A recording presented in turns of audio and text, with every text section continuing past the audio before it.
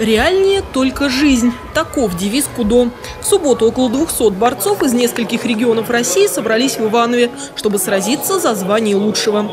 Это первый межрегиональный турнир на Кубок губернатора Ивановской области.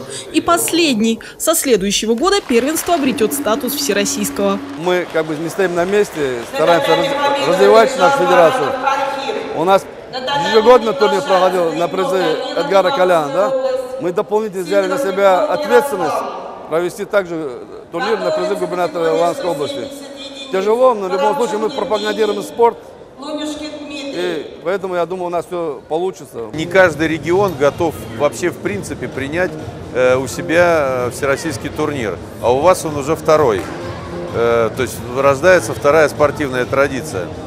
И то, что уже в начале года достаточно внезапно, вы- то есть руководство Ивановской области КУДО организует турнир и приезжает порядка 200 человек, спортсменов на этот турнир в начале сезона, это говорит о том, что как бы ваш регион э, имеет большой кредит доверия в КУДО. Как новый тренировочный год встретишь, так его и проведешь. Поэтому ивановские спортсмены готовились к турниру тщательно.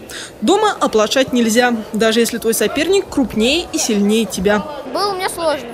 Он большой больше меня, первый раз в этой категории.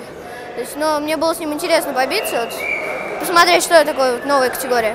Вообще кудо единоборство непредсказуемое. Рост и вес спортсмена никак не влияют на исход поединка. Только его мастерство и воля к победе. Решение о победе – это нокаут, например, болевой или удушающий.